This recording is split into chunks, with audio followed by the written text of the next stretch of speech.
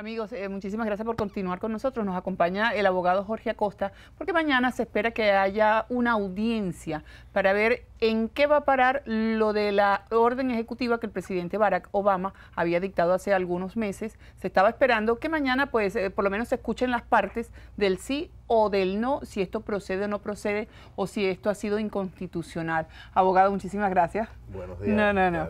Este, y ya estábamos viendo qué es lo que se espera para mañana.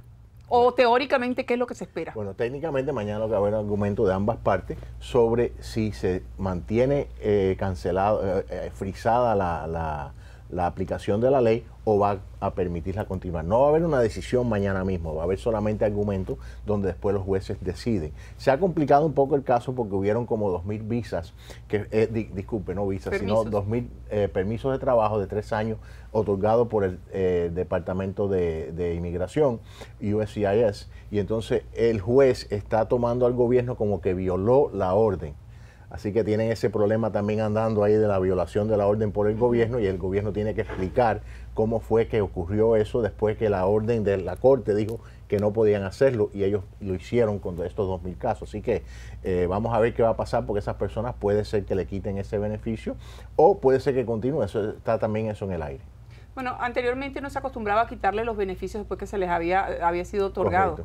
Eh, en estos momentos, como, el, como están las partes tan encontradas, ¿sí hay probabilidades que se les retiren esos permisos? No se sabe. Este, este circuito, este, estamos hablando del quinto circuito, eh, es, el, es muy conservador.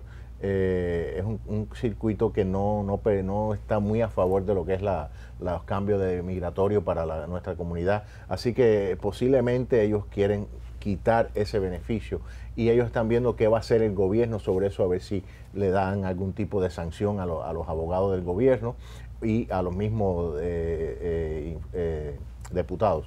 ¿Va a proceder bajo algún concepto este, este decreto o esta orden ejecutiva del presidente Barack Obama? ¿Proceder en este momento no? ¿Y en lo que queda de año? Que muchas personas estaban pensando que podrían ah, este pues eh, podrían ser beneficiados por esta orden ejecutiva. Este problema de que ahora el juez está tomando la violación de la orden, eso va a demorar el caso, así que no creo que va a haber eh, ningún tipo de cambio o va a poder proceder en este año esos cambios que el presidente quiso. Y queremos aclarar que los cambios que iba a hacer era que eh, era muy beneficioso para aquellas personas que son padres de ciudadanos norteamericanos que, y estaban aquí antes del 2010, hubieran podido tener un tipo de TPS, ¿no? Como un tipo de protección donde tienen un permiso de trabajo y, para poder trabajar y funcionar. Entonces, eso es lo que estamos quitando también, la aplicación del Dreamer o el DACA a personas que entraron antes de los 16 años, pero posiblemente tenían más edad que lo que, permití, lo que permite en este momento la ley. Ajá. Pero los lo que tienen, lo que son los Dreamers, o lo que nosotros llamamos los Dreamer o el DACA, ¿se les va a mantener eh, ese beneficio? Ese beneficio todavía está vigente y todavía las personas pueden tomar ese beneficio, sí, como no.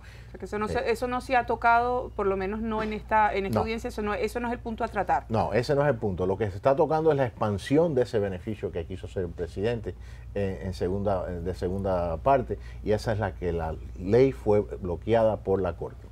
Bueno, pues abogado Acosta, lamentablemente se nos acaba el tiempo, pero muchísimas gracias y ya la gente queda un poco más informada porque esto era un comentario general donde se pensaba que mañana iban a tener algún tipo de información. Y Gracias por tenerme a mí, a, mí contigo aquí, así que... Bueno, pero vamos a estar pendientes de eso y a ver si la semana que viene también tocamos otros puntos que están eh, eh, en, la, mesa de, de trabajo de los abogados en estos momentos que están todos preparándose para el ataque.